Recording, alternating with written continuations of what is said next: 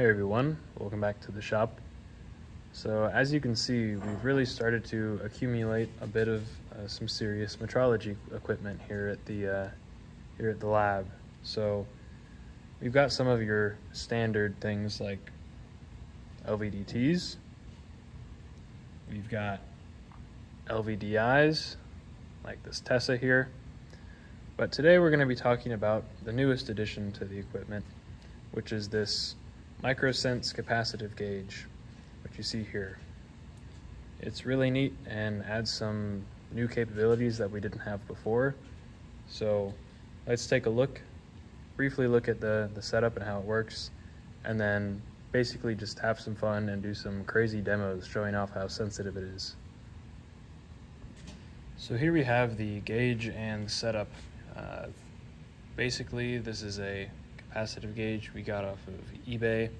It came with a probe, but the probe was crushed and damaged beyond repair. So we sort of had to rig up our own setup to get it up and running. Funnily enough, the solution to this ended up being just slicing the coax cable that the old probe was connected to and epoxying it into a steel housing. Uh, the if you look at the schematic of a capacitive probe, or not schematic, but just a diagram, it is essentially just a coax cable. And generally, the theme is the smaller the core sensing electrode, the more sensitive it is. So this small cable ended up being a really, you know, nice, tight uh, form factor, and you know, worked pretty well as a uh, as a as a gauge. So all we have to do is calibrate it, which we have using our uh, other LVDT gauge, and now we have a totally functional cap probe uh, that has a pretty decent sensitivity. So the amplifier here itself does have a little analog voltage scale, as you can see. The output is plus or minus 10 volts. And if I come over here and bend the arm that the gauge is set up on, you can see the scale moving over there. The way it's set up, I'll see if we can show this. Yep, you can see there's just a minuscule gap between the probe and the target, which is this lapped steel puck here. That target is grounded just to give you know slightly better uh, noise or slightly lower noise in the signal. And you see the output on the scale there. That uh, scale is all right, but if we want to realize the real benefits of this gauge, we have to zoom in a little deeper. And so to do this, we've got that uh, analog output from the amplifier hooked up to our Digilent Analog Discovery 3, and that's reading out on the computer here. And so on this scale over here, it's kind of hard to see right now, uh, but this is plus or minus 100 millivolts.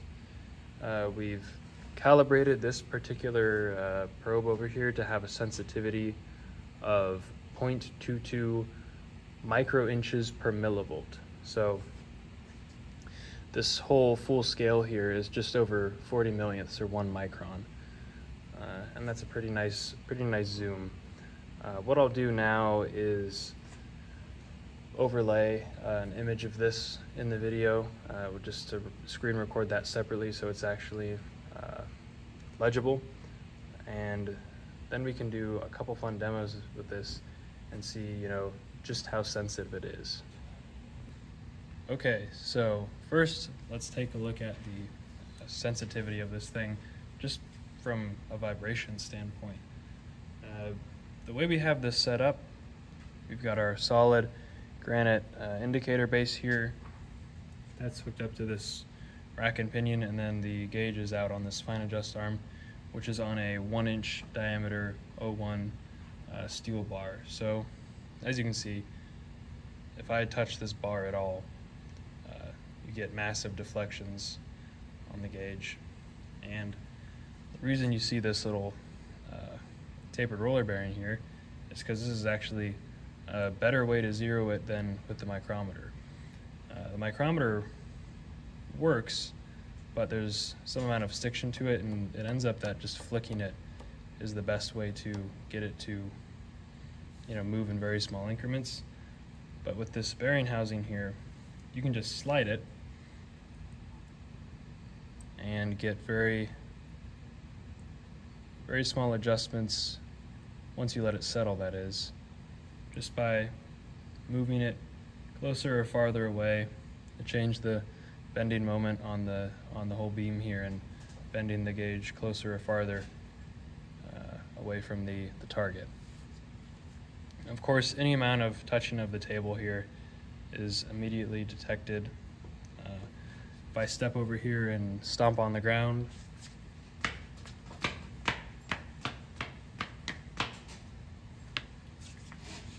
I don't even know if you would call that stomping, but tapping your feet certainly has an effect.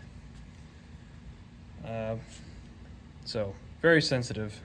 And the other thing this allows us to see is the incredible thermal sensitivity of everything around us. There's, of course, the classic demo that Robin Renzetti showed, which is let's just breathe on this bar here.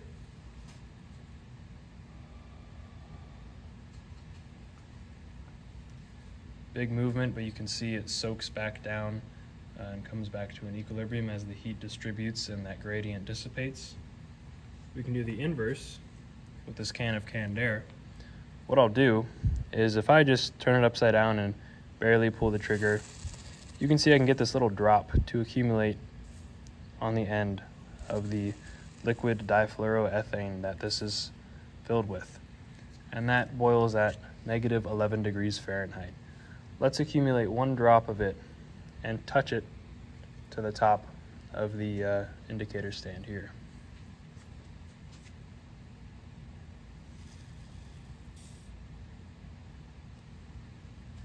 Almost completely off scale, but as you can see, it very rapidly soaks back and comes back to an equilibrium. To demonstrate the difference in thermal conductivity between steel and granite, I can do a similar thing where I spray some of this chilled uh, refrigerant onto the surface plate itself. I'm going to spray it right around here.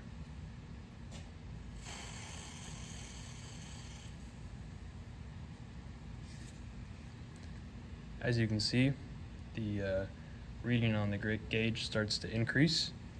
And when you think about it, this makes sense. I've cooled the top of the granite right here, so it contracts, and when that pinches, it pinches the top and bends the whole beam, bends the whole beam, but the plate, and sort of curls it up like a potato chip. But you'll notice it's taking a lot longer to come back to an equilibrium than the steel, and that's because the you know thermal gradient takes a lot longer to dissipate as it takes longer for heat to travel through the granite. I can accelerate this a bit by just putting my hand on the granite there and warming it up that way. And then you see the gauge start to move in the other direction at a high rate.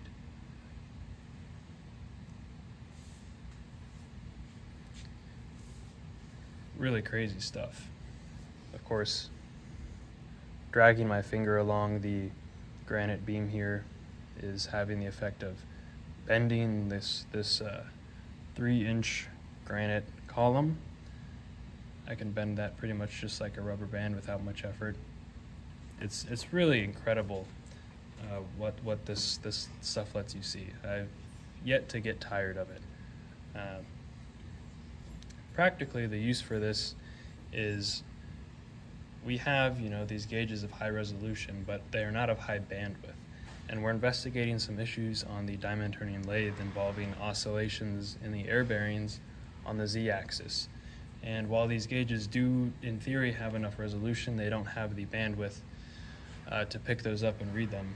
And because this is completely non-contact, you don't have any gauging force, and the nature of the driving electronics, it has an extremely high bandwidth. And so we'll use this to successfully diagnose the, uh, the oscillations we're seeing and finding out if those are actually causing issues in our surface finish or not. Now you'll notice throughout this whole thing there has been some uh, noise, some just sort of a noise floor in the signal of you know about 20 millivolts or so. Now we don't know yet whether this is electronic noise or actual mechanical noise from just it existing on this floor in this building. And so the next step is to put it on the vibration isolation table and see if that plays any difference. Uh, the 20 millivolt noise floor, of course, corresponds to a approximately four microinch uh, noise floor, which is certainly not ideal and higher than we'd need to pick up the oscillations that we want to see on the uh, diamond turning lathe. So let's hop over to the vibration isolation table and see if the results are any better. Well guys, unfortunately moving it over to the vibration isolation table did not fix the problems. Seems to be some sort of ele electrical noise. Uh, the noise floor is still about the same at about 20 millivolts. You'll notice though, the uh, signal is also jumping all over the place for entirely unknown reasons. Uh, the setup over here is, you know, notably different. It's on the Noga arm now, uh, set up on a, a, solid base and target or pointed over the same target. Uh, but ever since I've set it up here, the signal just seems to be sort of randomly fluctuating up to almost a micron um, at unknown intervals and due to unknown reasons. Uh, there's really nothing changing around it environmentally. Not entirely sure why that is. Um, but the bottom line is the noise floor that we were seeing wasn't mechanical, unfortunately. Don't know if this is going to work out for the uh, uh, for seeing what we want to see on the z-axis. The amplitude of those vibrations were really on the scale of about a about a micro inch or so. So not sure if this is going to cut it. Uh, regardless, we do have some tests coming in the future um, to try and diagnose these problems um, that involve cutting the air to the air bearings mid-cut and other controversial topics like that. So stay tuned and maybe we'll figure this out and get some better surface finishes. Shooting for sub 10 nanometer RA soon. But yeah, anyways, this is kind of weird looking. Um, I'm to see if I can figure out why this is happening, but hope you guys found this interesting, and uh, I'll see you next time.